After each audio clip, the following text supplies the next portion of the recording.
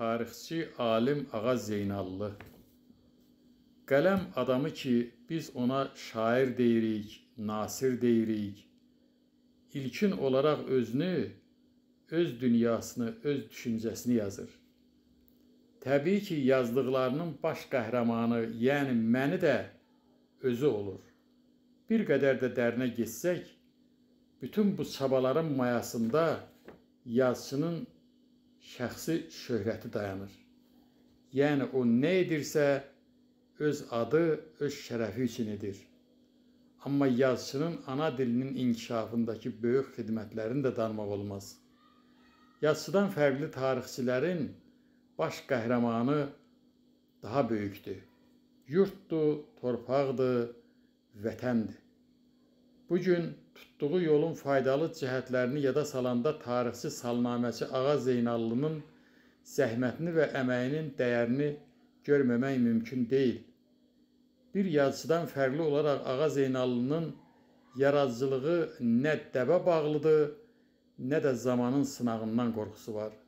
O Azərbaycan tarixinin bir qolunu, Kürdəmir qolunu dağınıq əlyazma, şifahi söhbət və kitablardan zərrə-zərrə toplayıb bərpa edib bütövləşdirir.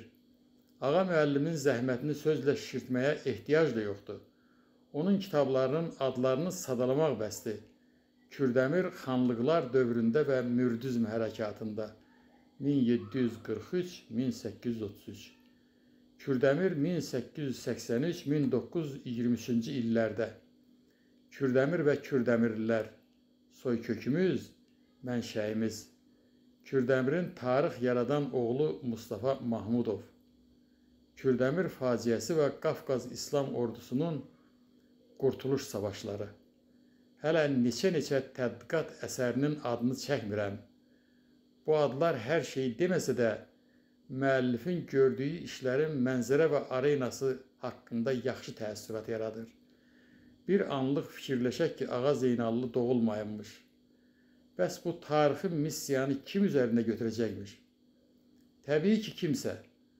Amma inanın ki, illər ötəcək, əsəblər sakitləşəcək, canlı tarixlər sıradan çıxacaq, bir sıra hadisələr unudulacaq və Kürdəmir tarixinin işığa çıxması ləngiyəcəkdir.